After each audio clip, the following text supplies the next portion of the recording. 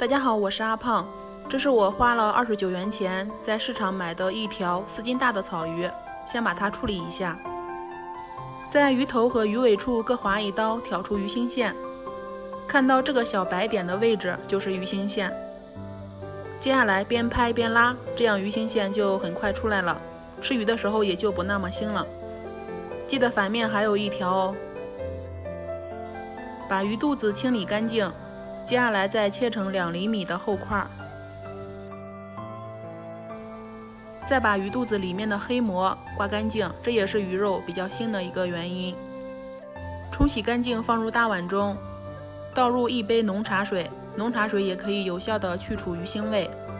加入一勺食用盐，抓拌均匀，先放在一边腌制着。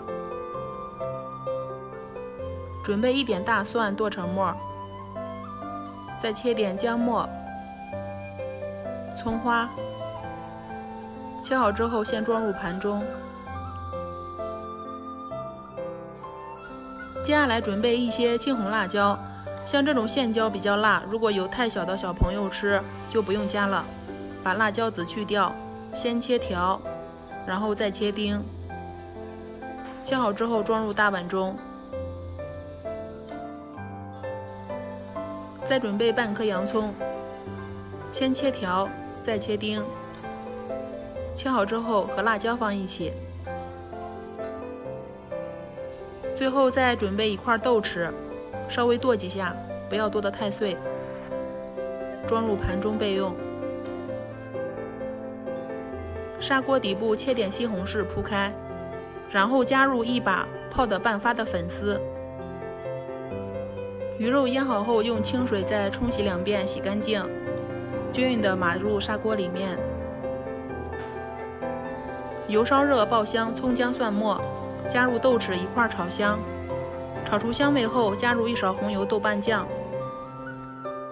加入洋葱、辣椒丁，翻炒均匀。接下来加入一大勺蒸鱼豉油，一小勺白糖提鲜，翻炒均匀。最后倒入啤酒，大约四百毫升，先煮五分钟，煮出豆豉里面的香味。最后倒入鱼肉上面，盖上盖子，煮上十分钟就可以了。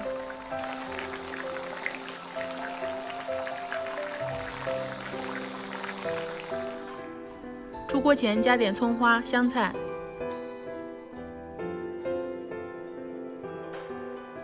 这样做的鱼肉吃起来特别的鲜嫩，一点都不油腻。记得要搭配着豆豉，这样吃起来会更香。做法也不是太难，很简单的。下面的粉丝也是非常的入味，简直是下饭神器，太好吃了。喜欢的话可以先收藏起来，有时间试试哦。谢谢您的观看。